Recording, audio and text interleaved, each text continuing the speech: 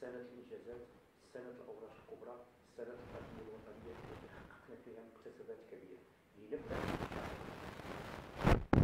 آه، فعلا أشكر مؤسسة أصوات على الفرصة التي أتاحتها لي لنهنئ بعضنا البعض ونهنئ بلدنا على الإنجازات التي حققها في عديد من الميادين.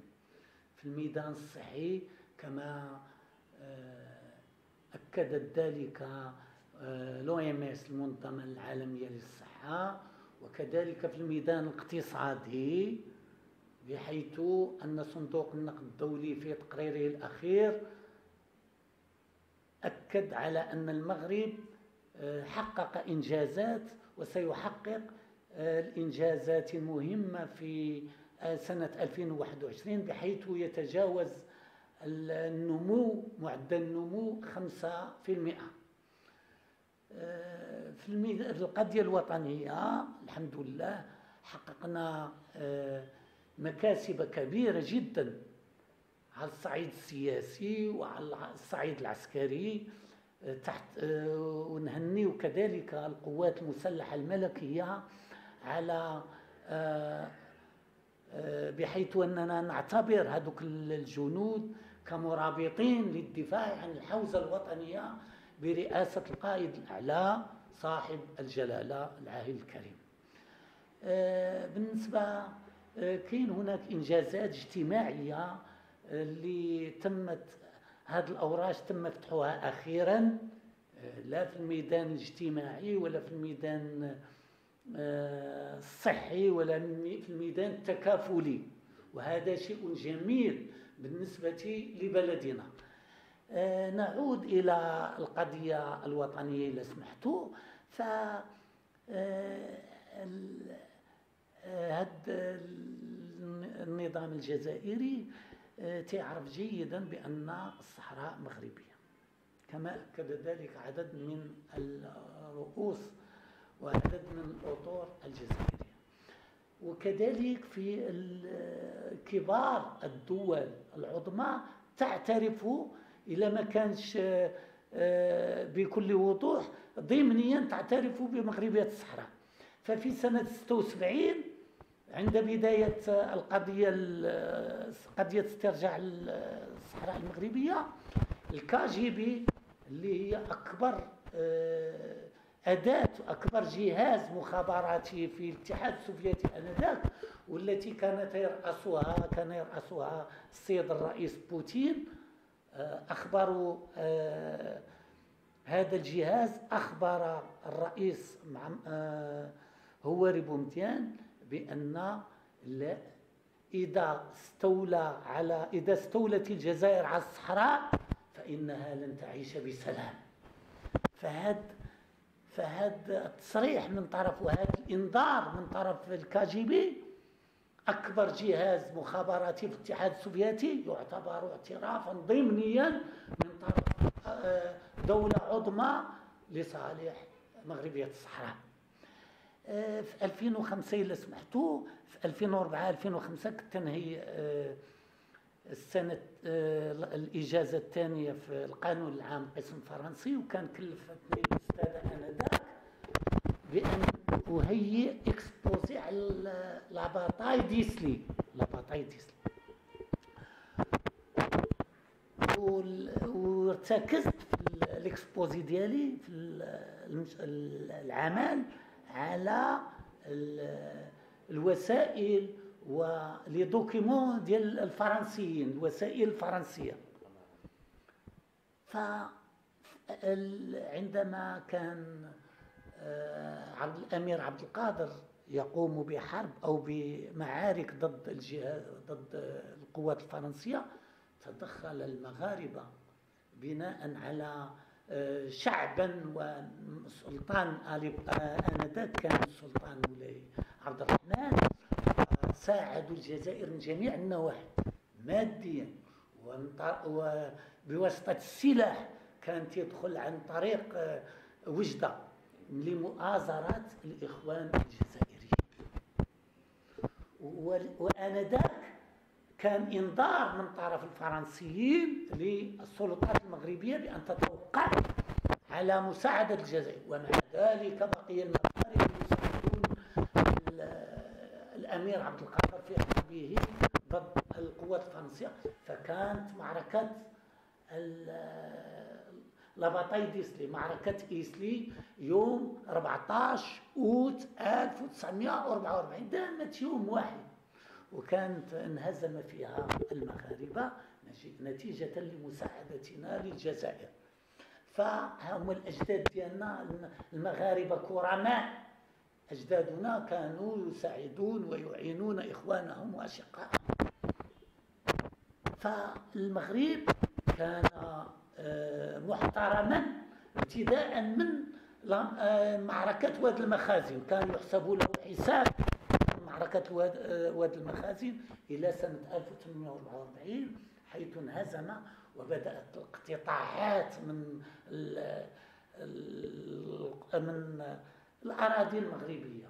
هابشار طوات تيدقلت إلى آخره إلى الثورة نتيجة للهزيمة التي انهزم فيها القوات المغربية آنذاك.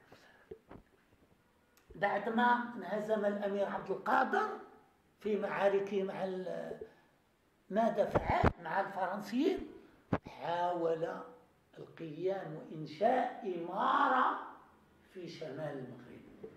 آنذاك السلطان ولي عبد الرحمن طلب آه، من القياد القياد في السمارة أو في, جن... في الشرق المغربي وفي غربه بأن يمدوه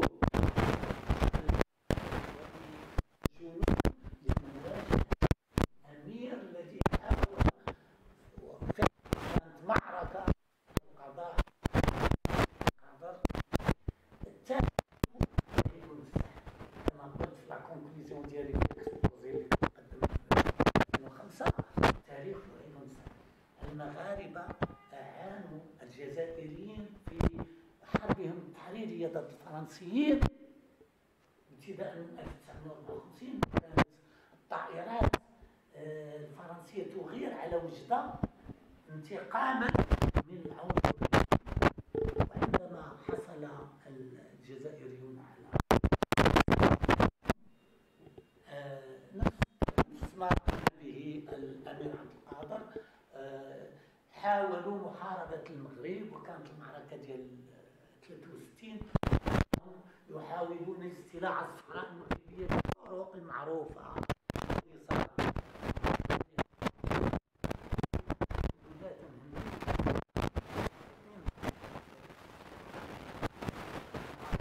في مواجهة قوة الشر وقوة الغدر ولهذا إحنا سعداء بالإنجازات التي حققها بلدنا الميدان السياسي بعد الاعتراف. التاريخي لأمريكا بمغربية الصحراء وكذلك بالتفوق العسكري والجدية في في المقاومة وفي في القضاء على الخصوم. بطبيعة الحال المكتسبات كان لها شقين ما هو سياسي وما هو اقتصادي. ما هو اقتصادي الآن نعرف بأن المغرب صدد يعني بناء أو إنشاء ما يسمى بالبناء المتوسط للدخلة. يعني طريق السيار اللي غادي يوصل حتى العيون إن شاء الله.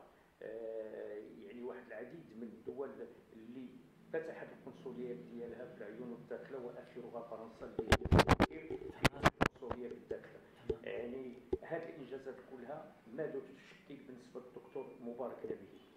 إحنا سعداء بهذه الانجازات كما قلت. أنا سعيد جدا. أنا كنت منذ الصغر أنا مهتم بهذه القضية الوطنية بطبيعة الحال. آه هذه إنجازات كبيرة وخاصة هذا الميناء الأطلسي الذي آه سيقام في الداخلة.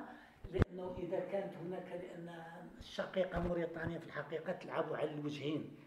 فإذا فهذا سيفتح سيحل المسألة ديال الخط أو المعبر بيننا وبين الكركارات بيننا وبين موريتانيا الطريق المؤدية إلى دول الساحل.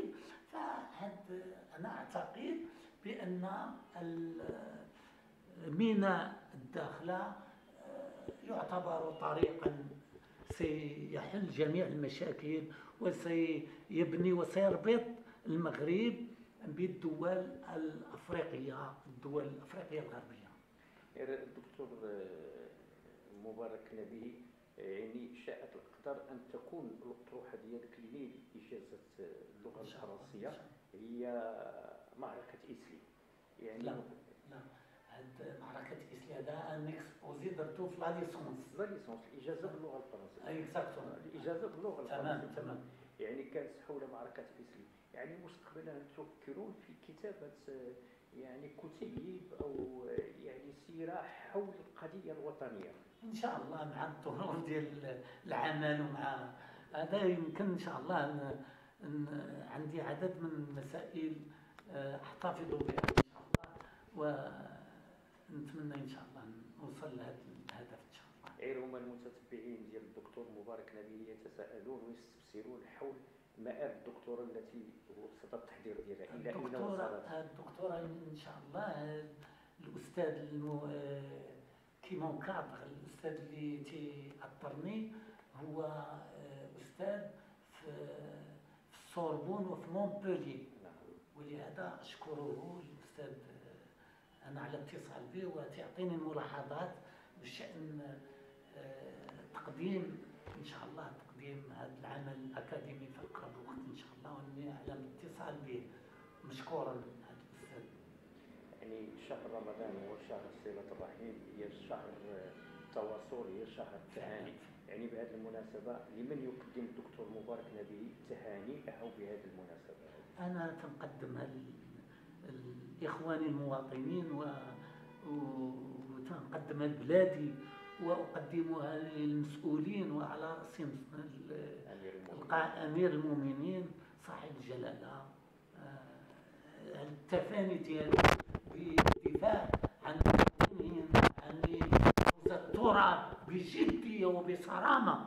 أنا أقول بصرامة وتنهنيه على الصرامة ديالو في تسيير البلاد العزيزة. على كل مغربي. شكرا. شكرا على المشاهدة. إذا أعجبك الفيديو اضغط على زر الإعجاب. لا تنسى الاشتراك في القناة وتفعيل الجرس وتابعنا على مواقع التواصل الاجتماعي. مرحبا بك.